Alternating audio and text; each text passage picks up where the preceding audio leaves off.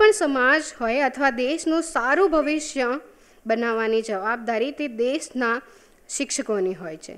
જી હા, શિક્ષકો જે તે દેશની નાગરિકોને સફળતાના શિખરો સુધી પહોંચાડવાનો માર્ગ બતાવતુંનું કામ કરે છે અને સાથે પંચ્યાસી વર્ષના ઇતિહાસમાં પ્રથમ વખત ગુજરાતમાંથી એવોર્ડ મેળવનાર એટલે કે એકમાત્ર મહિલા પ્રોફેસર જેણે વધાર્યું છે ગુજરાતનું માન. આ મહિલા એ ટેકનિકલ ક્ષેત્રના તેર પ્રોફેસરમાં એકમાત્ર ગુજરાતી મહિલા પ્રોફેસર છે. ભાવનગરથી લઈ અને રાષ્ટ્રપતિ એવોર્ડની સફર શિક્ષક દિવસે નેશનલ એવોર્ડ ઓફ ટીચર્સ રાષ્ટ્રપતિ દ્વારા જેમનું સન્માન થયું છે. આવો સન્માન કરીએ ગવર્મેન્ટ પોલિટેકનિકલના મહિલા પ્રોફેસર એટલે કે જંખના બહેન મહેતાનું.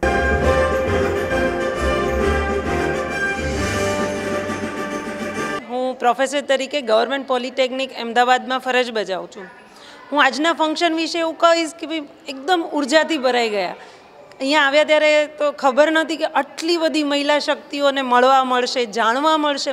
વિવિધ ક્ષેત્રમાં કેટલું સુંદર કાર્ય કરી રહી છે.